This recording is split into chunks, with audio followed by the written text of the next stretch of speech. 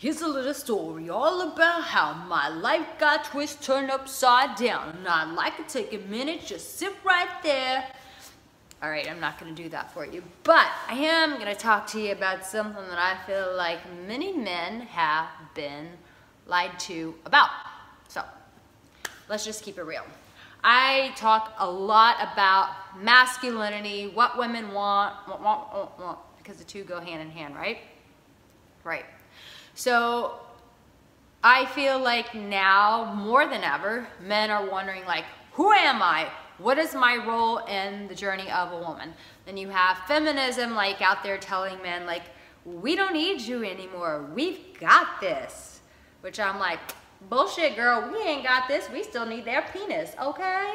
Okay. But for real though, that actually is for real.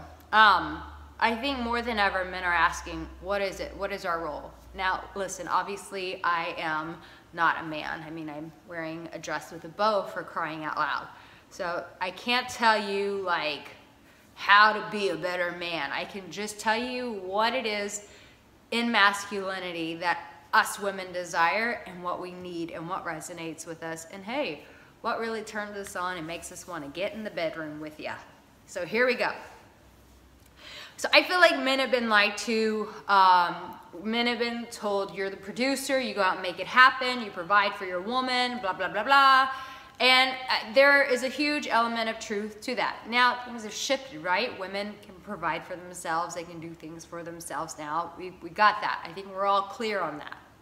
No confusion there, okay? Where the playing field has been leveled.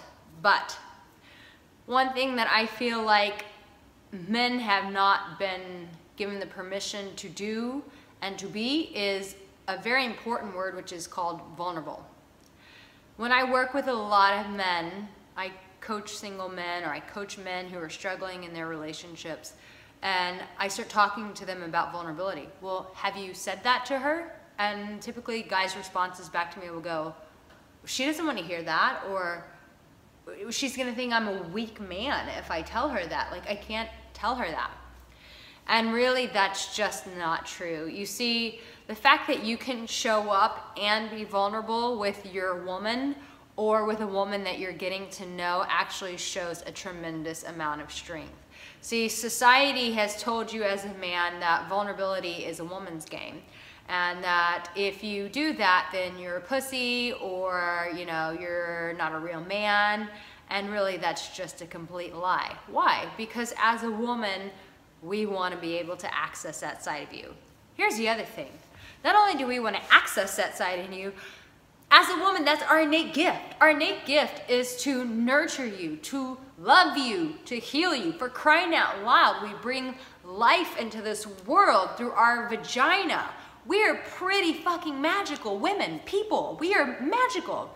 So when you show up and you don't give a woman your vulnerability. You're basically saying, I'm not giving you access to me as a man, which essentially tells a woman, I don't need you. What? That's not what a woman wants to hear. A woman wants to be able to be there for a man. I want to share a story about something that I had uh, an encounter with, an experience with, um, being in a relationship with a man who was very capable, was the kind of, he's the kind of guy that can just make things happen. And one day, things were going really catastrophic for him in his world. And he looked at me and said, I can't do it. It's, it's too much. It's too much. And in that moment, he just broke down and started crying. And my innate response as a woman was to wrap my arms around him, to hold him, and to pour my love into him. Now, he had a role in this. He had to use his strength to go against societal norms and to show himself to me. And the other thing was he had to take a risk that I would receive him well. And I will say there's a third. He had to be able to receive the love that I was giving him. You see, if you go through your life, men, not being vulnerable and putting up shields and putting up walls, you are missing the opportunity to capture, to feel, to receive the essence of what a woman truly is. Her nurturing side, her giving side, her caring side, all of those things that bring healing and bring joy to a man. I mean, for crying out loud, you're not just in this journey to have sex. If that were it, you could go pay a prostitute to do that. But there's something deeper inside of you that needs not just sex, because hey, who doesn't need sex? I do. Um, but there's a part of you as a man that still needs to be loved and nurtured and cared for and respected and championed. And so the only way that you can ever access that is through vulnerability. If you're constantly sending a message to your woman or to the women in the world, I've got it all, I don't need you, yeah, you may get dates with a woman, but it'll never go anywhere else. Why? Because you've built this invisible wall that says, I don't need anyone, which is only self-protection, by the way, and keeps you blocked from actually getting love. But it's, hey, I don't need anyone and I don't need the essence of what you have to offer with your feminine spirit, with your feminine grace as a woman. I don't need that aspect of you as a woman. That's essentially what you're saying. You're like, why would I ever say that? But you do say that. Your walls say that. And so when I talk to you about vulnerability, I understand that what I'm encouraging you to do, what I'm empowering you to do, is to take a risk. And you know what? I have to be honest with you. Vulnerability doesn't always work out. I can't tell you how many times I've been vulnerable and it's blown up in my face. But you know what? That will not stop me from receiving love. That will not cause me to put walls up in my heart and say, fuck you to the world because someone didn't handle my vulnerability right. Shame on them. That's their thing. That's not gonna stop me. See, I was really fortunate to grow up with a dad who was super vulnerable. And so he taught me what vulnerability looked like.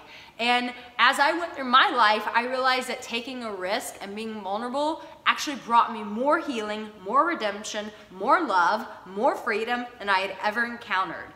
And so I just want you to know as a man, like you're not on this journey alone. Women have to take the same risk with being vulnerable, especially now because now men are like, well, fine, you can reduce for yourself, you can take care of yourself. So what do you need me for? So even as a woman, showing up in our vulnerability is a scary thing for us to be able to say, I need you when we've empowered ourselves to become self-reliant.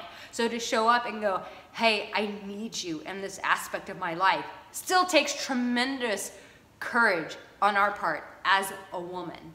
So vulnerability is the gateway to receiving love, to being loved well, to experiencing experiencing beautiful lovemaking. Like that's a whole aspect of being in an intimate relationship with a person. It is not just like putting your bodies together going, uh, uh, uh, but in the middle of lovemaking saying, oh my God, I love when you touch me there. Would you just turn me over and would you just push yourself inside of me like this. That's so vulnerable. It's saying, hey, this is something that I desire and I desire it from you. That's a vulnerable move. Obviously, I could get really graphic here and I would really love to get graphic here, but I'm not sure if I'm allowed to do that. Anyways, point is, men, you've been lied to. Society has told you that vulnerability is a woman's game and that you as a man should hide that. You should suppress that. And I'm calling that bullshit because now more than ever, that's what women need. They need men who are comfortable and confident in their own damn skin to go, hey, yeah, of course I still have needs. Of course I still have fears. Like, yes, I do. I'm a human being. You see, vulnerability is not a man's game or a woman's game. It's a human thing. And it's access through the heart. It's access through taking chances, risking, using the courage that's inside of you to jump off the ledge and go, I'm about to share my heart with you and I feel like I'm gonna fall. And doing it every single time and not denying that aspect of who you are. So obviously there's a lot more to be said about vulnerability. Not something I would encourage you to go and just do with the whole world and be like, ah, here's my ass, world, take a look. I'm not saying that. But I am saying if you want to get to a woman's heart and if you want her heart to get to yours, it's going to require vulnerability. Make sure that you like this video, you subscribe to my channel, and if you haven't gotten those, that free video course about confidence, hello, what are you waiting for? Get it and let it change your life. Much love mm, from my heart. Did you feel it? Did you feel it? Mm, I'll do it again. Did you feel it that time? Good. From my heart, Arica Angelo to yours, babe. Take care.